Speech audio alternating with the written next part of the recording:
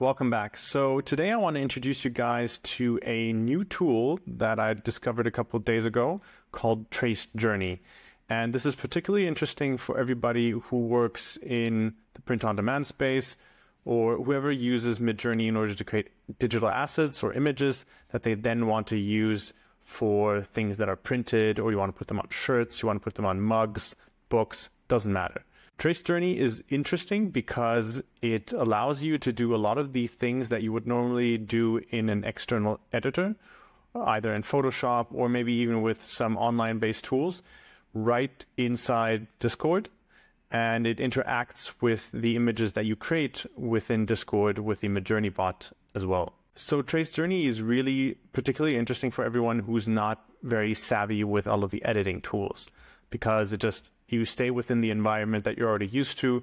You click a few buttons. It's very similar to how you would interact with the Midjourney bot. But let me maybe just show you how this works. I'm going to move myself to the side here, just so you guys can see what I'm what I'm doing. And the very first thing that we need to do is we need to join the Trace Journey Discord server. And I'm going to show you a link right below here on the screen, or you can check in the description below to find out how to get there. But I'm going to go straight to the Trace Journey Discord server. And what you'll see right here is it starts off with you got a start here channel here at the top that'll give you some you know quick tips to go to check out the video tutorials. And I mean, they're not, not super sophisticated, but they, they kind of explain to you what you need to do, how do you vectorize an image, how to upscale an image, how to edit it. It's, it's very short. These guys are pretty new. They they they haven't been around for a long time, so everything is kind of still in an upstart mode. Uh, then there's an FAQ here, uh, announcement rules. But the main thing that you really need to know about are these three channels here, because that's where you're going to be working. All right, so normally you would be able to add this Discord bot into your own server, just like you would do with the Midjourney bot as well, if you were doing all of this on your own server, which is obviously a little bit more convenient and is also a bit more private. Um, but unfortunately, they, according to the, I'm not sure whether it was in the FAQs or in the announcements, I think, yeah, FAQs. And it says right here that they still need to go through a verification process with Discord. Uh, and for the time being, you can't add it to your own server right now. I think there's a certain limit. So for the time being, you got you, you kind of need to use it right here within their server. And so if you're not particularly keen on prompting within, for example, the Midjourney bot test channel, so because you don't want everybody to see what you're trying to do, um, I mean, I mean, there's not really going to be a way around because you still need to, you know, get it edited here. But if you don't want to do all your test prompts over here, you can still stay in your own server. So for example, I'm going to go back here and within my own channel here, I'm going to create, I'm going to try to create a design for a t-shirt. So this is for all the print on demand people out there who are particularly interested in the vectorizing part of what Trace Journey can do. So I'm going to start off with 2D vector illustration t-shirt design for Halloween. And then I'm going to say witch, uh, witch pumpkins and ghosts and aspect ratio 4 to 5 because that tends to be best for t-shirt designs. And let's create some designs. Ha, and you see, I forgot something. So one of the things that Trace Journey can do is it can also remove the background on images. And I kind of forgot that that tends to be better on a light or, or white background. So here I forgot to stipulate that I actually want a light background. So I'm going to have to change this. Just but just have a quick look at these images because they're, they're pretty awesome. Huh? These are really, really nice. But we need something different. So I'm going to change my prompt real quick for a second. And I'm going to say t-shirt design for Halloween on white background.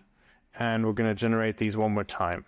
All right, cool. So these look really awesome as well. I'm probably going to, I think I'm going to work with either the top left or bottom left one. Anyway, so I'm still in my own Discord server. So you might be wondering, how the hell am I going to get these into the other Discord server? Well, one of the ways of doing this is you right click and I'm going to react with the, well, technically you could, the normal way would be to use it, do it over here to hit the add reaction button and then you pick the envelope icon.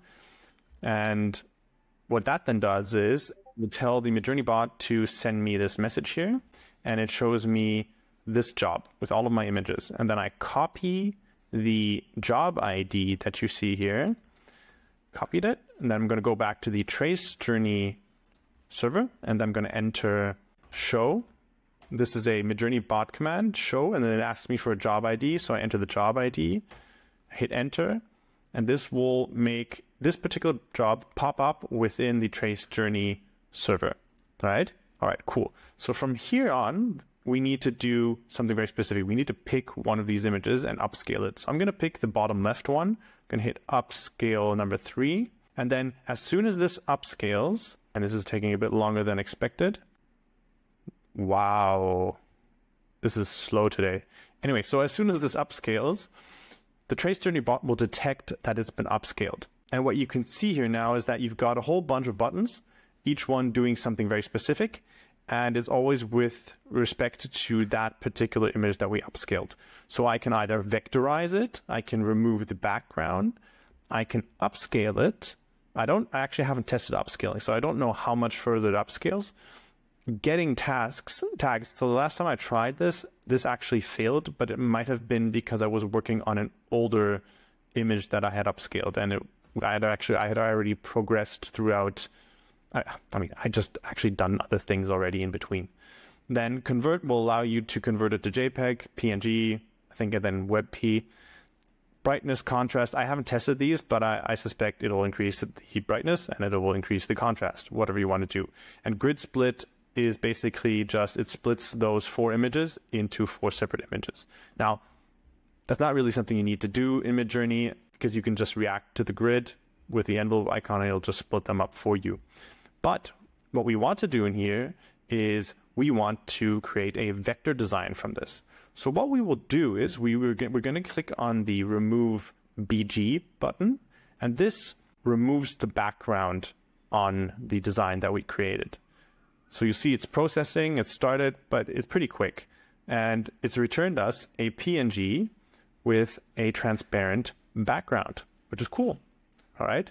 So let's remember to keep this but that doesn't mean that it's a vector design yet, right? And the reason why we want it to be a vector design is because it allows us to scale the design endlessly, which is really important for everything that's related to printing, right? Because you need big files in order to get a high resolution. So what I would do now is I have these buttons again, and this again is with respect to this image that we have here, the one that's already had its background removed, and I will hit vectorize. And so it starts processing as well. And this doesn't actually take that long. It takes a little bit longer than removing the background, but I'm actually quite surprised how quickly it does this. All right, cool. And so what you see is processing complete, enjoy. And this is basically just how what an SVG file looks like when you open up in a text editor. It has all these sort of, looks like HTML markup a little bit, but an SVG file is a vector file, just like EPS or, you know, your classic Adobe Illustrator format. So what I would do now is I would download this file. So this is going to download to my downloads folder. And what I'll do is I'm going to open it in my Finder, right click, open with Affinity Designer, which is the or the most likely tool that you would use from the Affinity suite for vectors, right? And what you can see is it has opened up the SVG file in Affinity Designer, and you can see all of the curves here on the right, which just shows you it's a it's a vector. So what I would normally do is I would group these and then you can just scale the design endlessly as you want. Doesn't really matter. I mean, everyone who is in print on demand will know why I'm doing this and what the whole the point is. Uh, I don't need to explain this to you again. But so now you could basically add a text or whatever on top. You could save it in different formats, different dimensions. It doesn't really matter, right? So this is just the whole benefit of getting it vectorized real quick. And trust me, the quality of this is considerably better than what you would get if you did this in Adobe Illustrator, which also has an image tracing feature, which people have been using for ages. But to be honest, it's utter crap. So this is really, really, really good. This this changes the game completely in print on demand, more than anything before, right? Just because of the sheer workflow and the productivity gains here. But anyway, so um, I want to show you something else that Trace Journey does. And Trace Journey also allows you to create mockups, right? Okay, so let's go back to my private server. And what we're going to do now is we're going to imagine and we're going to create a mockup of dark gray t-shirt on hanger because, well, it's going to create an image of a t-shirt on a hanger, which is going to be the base layer for the mockup that we're trying to create, right? Remember, we're trying to put our design on top of a real piece of clothing. And the reason why you would want to do this is because maybe you're selling on Etsy or you're selling in your own online store. So you want to have a mockup to show what the product actually looks like in the end. So let's wait for this to finish generating. Awesome. All right. So what we would do here is I'm just going to pick one of these four. I'll probably take the top left one. I'll upscale it because we're going to not save it, but I'm going to copy the image so that I can use it in the mockup function afterwards. All right, cool. So what I would do now is I'm just going to save this just to make it even easier. I'm going to call it number uh, number one. And I'll go back to trace journey here, I will take the design where we removed the background. This I will also save to my, whoops, I'm in the wrong folder here. I'm going to save this to, where am I? Save this here, number two. And what we would do now is we would go to the mockups channel. And here we enter front slash mockup. And then you see it gives us, similar to how the blend command works in Midjourney, we can now select two files. We start off with number one, which is our mockup shirt.